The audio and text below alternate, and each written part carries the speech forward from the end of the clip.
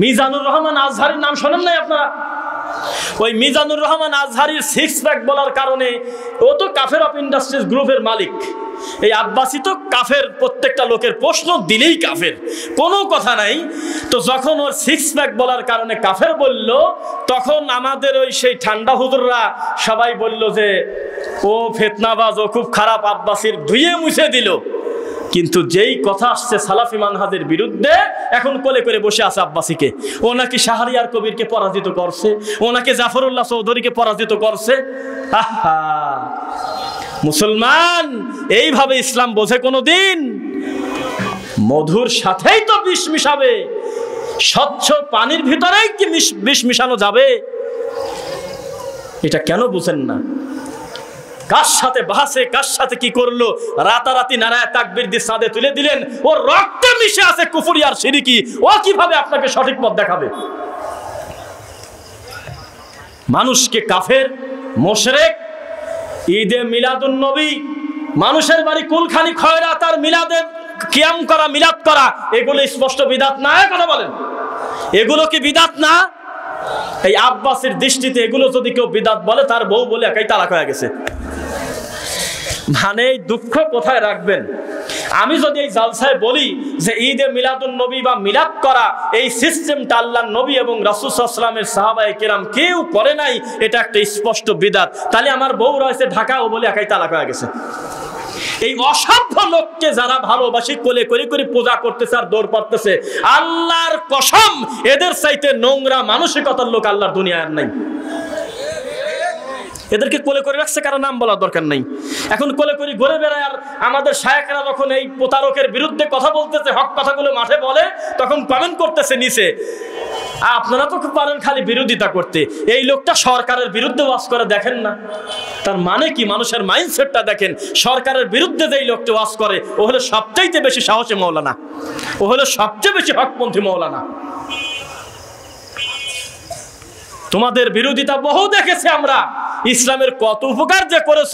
দুই চোখ দিয়ে তাকায় দেখেছি, এদেশের কলিজার টুকরা সোনামণি, যার এখনও বালেগি হয় নাই, দশ বছর, নয় বছর, বারো বছর, এগারো বছরের বয়সের কম। কোরআনে হাফেজ, শত শত হাফেজের জীবন চলে গেছে তোমাদের নারায় তাকবিরে। এই কথা বুঝে নেন আমার কাছ থেকে। এই নারায় তাকবির গ্রুপ এই চিৎকার চেঁচামেচি, আগুন জ্বালাও, পোড়াও, রাস্তা অবরোধ করা পার্টির চিৎকারে এদেশের শত শত কোরআনে হাফেজ ছেলের জীবন চলে গেছে। বাচ্চাকে দিয়েছেন কোরআন হাদিস পড়ানোর জন্য। ও চিৎকার দিয়ে রাস্তা অবরোধ করে গুলি খাওয়ায়, মারতেছে রাস্তায়। ব্রাহ্মণ বাড়িয়া সতেরো, অমুক জায়গা বিশ জন, অমুক জায়গা দশটা মারা যায়। হিসাব দিতে হবে কিনা বলেন? এই সমস্ত সাইফুল হাদিস, এই সমস্ত দাদা এই সমস্ত প্রতারকদের ছেলের গায়ে একটা আঘাত লাগে না। তথ্য নিয়ে দেখেন। এরা রিল্যাক্সে ঘুরতেছে সারা দেশ। নিরীহ, আপনার মতো, আমার মতো গরিব মানুষের ছেলেগুলো মাদ্রাসায় দিয়েছেন, তাদেরকে চিৎকার দিয়ে, অমককে ধরো, অমক এইটা করছে, অমককে মারো, এইভাবে চিৎকার চেঁচামেচি করে দেশে শত শত কোরআনে হাফেজের রক্ত দিয়েছে, ওই জীবন দিয়েছে, শুধুমাত্র এদের তাকবীরের কারণে। আবেগ বাদ দিলে জাতির কি থাকে? কি থাকে বলেন? যে জাতি এখনও পর্যন্ত নব্বই জন সৎকারা তার আল্লাহকে চেনে না। যে দেশের মানুষ বিশ বছর পরে লেখাপড়া করার পর তার আকিদা, আল্লাহ হলে আমার কলবে ঢুকে গেছে। এই দেশের মানুষকে খেপায় দিচ্ছে হকপন্থী আলেমদের বিরুদ্ধে। নাউজুবিল্লাহ মিন জালিক জয়নপুর কি আমাদের দেশে না ভারতে? এ কথা বলতেছেন না কেন? জয়নপুর কি ভারত না আমাদের দেশে? ভারতে পাঠায় দেন। এদেশে আলেমের এত কমতি পড়ে নাই। বর্ডার পার করা ঠাকুর দিয়ে ধর্ম চালাব আমাদের এই রাজশাহীতে। আমাদের এই বাংলাদেশে দরকার নাই। কোনো ঠাকুর পূজা আমরা করব না। এদেশে গ্রহণযোগ্য বহু আলেম দিন ধর্ম জানা তৈরি হয়ে গেছে। আলহামদুলিল্লাহ। কোন বর্ডার পার করা বাবা দিয়ে এই দেশে আর ধর্ম চলবে না। প্রশ্ন করা হলো যে আপনি কোন বংশের লোক? আব্বাসীকে প্রশ্ন করতেছে, আপনি কোন বংশের লোক? জবাব দিচ্ছে, আমার সিহারা দেখে কি বোঝেন না আমি কোন বংশের লোক? আমার সিহারা, আমার সিরাত আমার সুরত, আমার ফতুয়াই তো বলে দেয় যে আমি নবীর বংশের লোক। বুক থাপড়ায় থাপড়ায় বলতেছে কত বড় জালেম যে আল্লাহ নবীর দুইটা রক্ত আমার শরীরের মধ্যে চলতেছে। একটা হলো আল্লাহ নবীর আপন চাচা আব্বাস রদি আল্লাহ আনহুর রক্ত, আর একটা হলো আবু বকরের রক্ত আমার শরীরে। আর সামনে বসে খালি নারায়ণ তাকবীর। খালি, ও বাবা, কি শুনাইলা বাবা? সুবহান আল্লাহ মারি চলে যাচ্ছে। এই প্রতারক জাতিকে কীভাবে আপনি হেদায়ত দিবেন? যে সত্যকে বলে হলো ফেতনা আর মিথ্যাকে বলে হলো হক।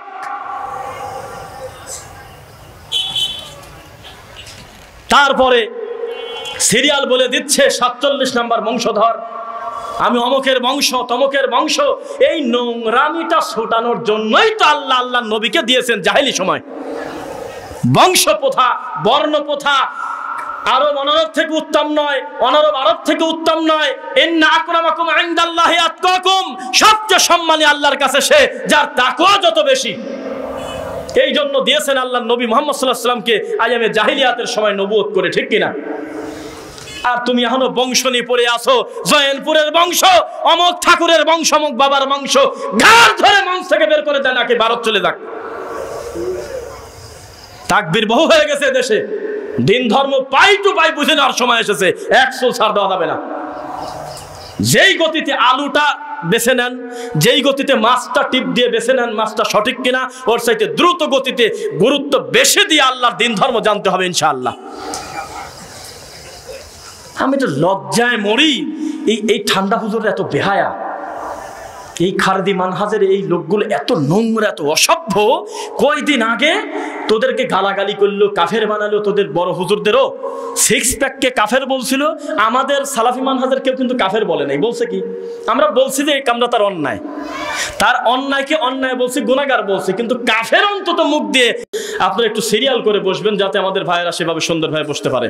দেখি একটু শব্দ কেমন হয় আপনাদের। লিল্লাহি তাকবীর। এটা সামনে বসলে পিছনে বসারাদের একটু সুবিধা হবে। আচ্ছা আমাদের, আমরা অল্প সময়ের ভিতরে আমরা কিছু সিরিয়ালে কিছু বিষয় ভিত্তিক আমরা আলোচনা করার চেষ্টা করব। গিবত করা ভালো কাম না মন্দ কাম বলেন?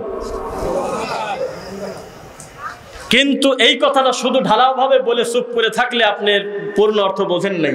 কিছু কিছু সময় গিবত করা আবার ফরজ হয়ে দাঁড়ায়। দেখবেন কীভাবে?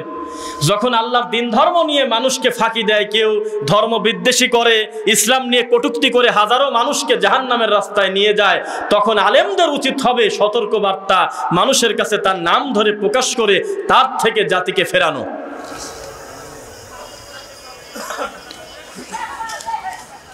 ডক্টর এনায়েতুল্লাহ আব্বাসী, আমরা কোনো অসুস্থ লোকের নাম নেই না, যিনি মস্তিষ্ক বিকৃত, যিনি অসুস্থ সাইকোপেশন যিনি। এই সমস্ত লোকদের নাম আমরা মাহফিলে, মঞ্চে, জমার খুদ্বায় অ্যাভেলেবল নেওয়াকে পছন্দ মনে করি না আমরা। কিন্তু আজকে নিচ্ছি।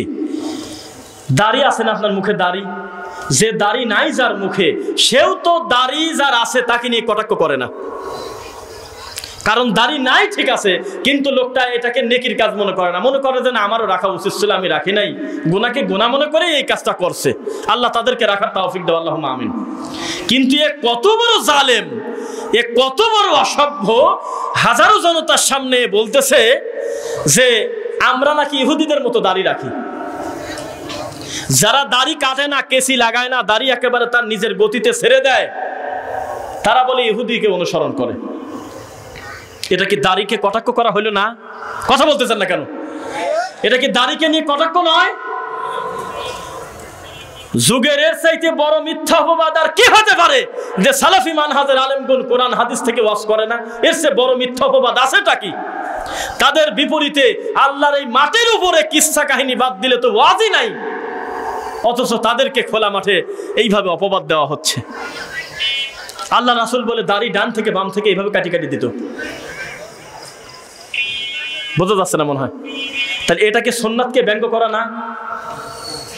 মাঝে মাঝে আমি বলি যে, নরেন্দ্র মোদীর সাইতে এনায়তুল্লাহ আব্বাসী খারাপ মানুষ বেশি। কথা বোঝা যাচ্ছে না মনে হয়। পৃথিবীর কোন মুসলমান নরেন্দ্র মোদীর কাছে ফতোয়া নেবে আশায় বসে নাই। যত বড় প্রধানমন্ত্রী হোক। সারা দিন যদিও ফতোয়া দেয়, বক্তব্য দেয়, কোনো মুসলমান তার ফতোয়া অনুযায়ী আমল করবে না। কারণ তারা সিদ্ধান্ত নেছেই যে ও তো মুসলমানই না। ও তো আমার ইসলাম সম্পর্কে জানে না, ও আমাকে কি বুঝাবে? যতই মন্দ লোক হোক, ইসলামের দায়িত্ব লোকটা নেবে না। জানেই না দিন ধর্ম কাউকে ধোকা দিতে পারবে না, আগেই ধরা খেয়ে যাবে। কিন্তু এনায়েতুল্লাহ আব্বাসী শত শত হাজার হাজার মানুষকে জাহান্নামী বানাতে কোনো বিষয় না। কারণ, এ দেশ একটা ব্যতিক্রম দেশ, যে দেশে ল্যাংটা মানুষের পিছনেও লোক ছোটে।